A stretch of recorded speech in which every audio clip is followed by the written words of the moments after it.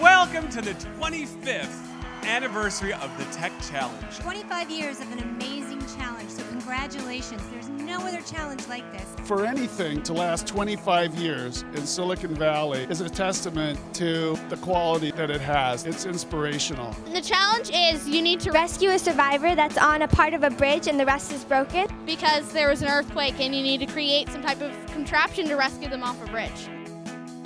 The guy only lives once, so we have to get him. We have to save him. I feel like you could use this in a real life situation. We think we'll do pretty well. Enough to be as good as a sixth grader, even though we're fifth graders.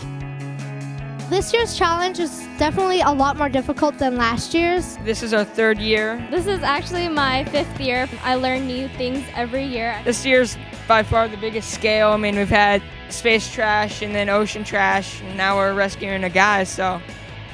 Just because a team was good one year doesn't mean they're going to be good the next. They have to reinvent themselves, just like a company would. What's really interesting is seeing the range of solutions that people are coming up with. There's multiple ways to tackle the same challenge. For example, ours is a rope climber design. You see people who are doing everything from cable crawlers and various vehicles to some very simple and elegant solutions. I think everyone has done a really good job, put a lot of effort in, and this competition is going to be really hard and really close. And good luck to all the teams that are competing this year. It's a common misconception that math and science are the only things which contribute to engineering. I mean, teamwork is also a great part, and of course, creativity.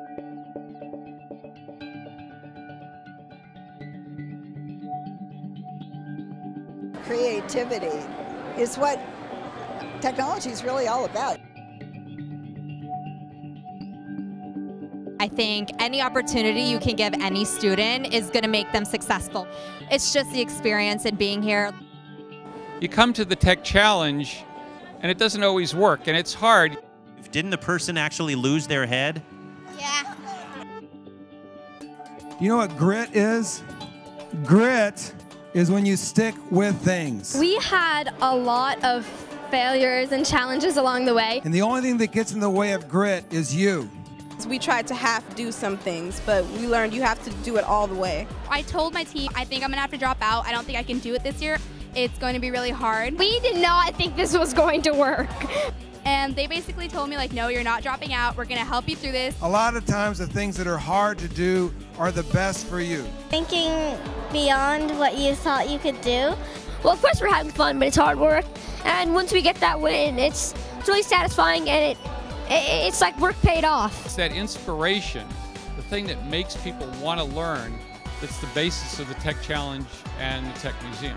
There's no shortage of people out there to make advancements in science. In simplest terms, it's real life experience.